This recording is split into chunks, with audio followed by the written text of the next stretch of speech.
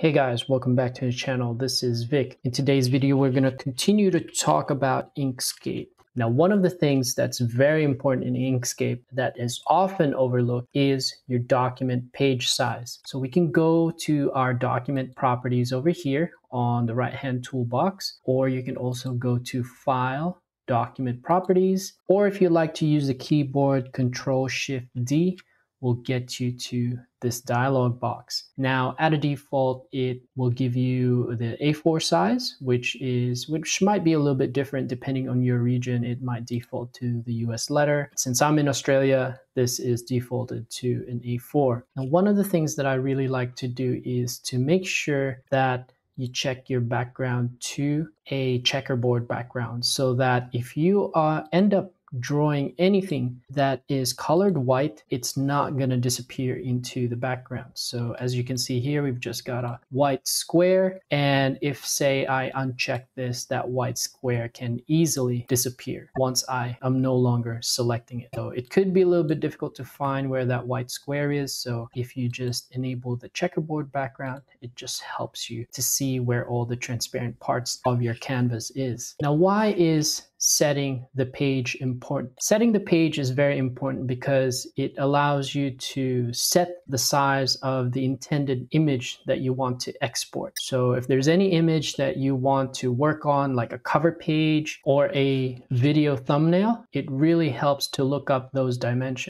For example, you can Google any of the sizes of images that you would like. So let's say you want to post something for Instagram. You can go ahead and search for it. I'll link this website in the description, but really if you do a quick search, you could find multiple resources for standard dimensions. So for example, an Instagram post is 1080 by 1080 We'll switch back to our Inkscape over here. So let's say I'm going to make an Instagram post. I can go ahead and change this to pixels and make sure that my width is going to be set by 1080 by 1080. So this is now the canvas that I'll be working on. So when I export this out as a final image, it'll be at the right dimensions. Another example could be a YouTube cover thumbnail. So let's go ahead and search for that together. So let me search for YouTube thumbnail dimensions. So let's click on the first result here and I'll link this in the description below. And as you can see here, so YouTube thumbnail size is recommended to be 1280 pixels wide by 720 pixels tall. When we go back to Inkscape over here, if we want to do a YouTube thumbnail cover, we'll do 1280 by 720. As you can see, it sets the page size for our YouTube cover. That's it for today. Just a really quick tidbit.